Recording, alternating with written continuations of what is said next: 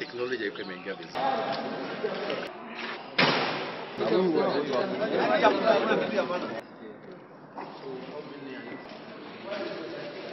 naomba mjiandikishe ili sasa wakati nafanya planning na budget ambayo inakuja nijue wakulima katika taifa letu ni nambari kiasi fulani na subsidy ama zile products ama program yetu nataka kuexpand itoke tu kwa fertilizer iingie kwa mbegu iingie kwa mandawa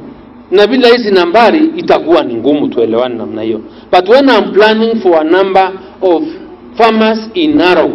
and when I know what their requirements are in terms of fertilizer, in terms of seed, in terms of pesticide, it will be easy for me to, re- to request the treasury and government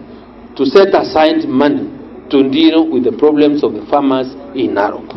Mimi tafadhali nawapea notice, yule ako na mahindi kwa store uza, yule ako shambani, tafadhali kausha chakula yako, weka chakula kile utakula, sababu inaenda kufika wakati nitaleza chakula kutoka nje. Na nilisema hivyo sababu sikuwa nataka mkulima wetu apatwe na haya mahindi na michele ya pesa kidogo asinde kuuza mazao yake. Maseneta na wengine watakaa chini na viongozi walete watuambia kwamba Narok sasa tumefikisha wakulima mia tano elfu.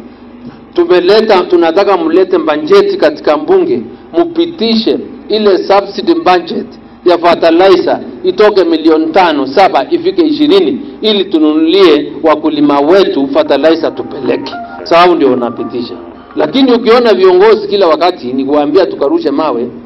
hawajali utakula nini wao wameziba, wanalipwa wamechungwa na serikali wanawapotosha. Kwa hivyo nataka kuambia mimi nawashukuru na mumesema na mko hapa mko tayari kurudi kwa mashamba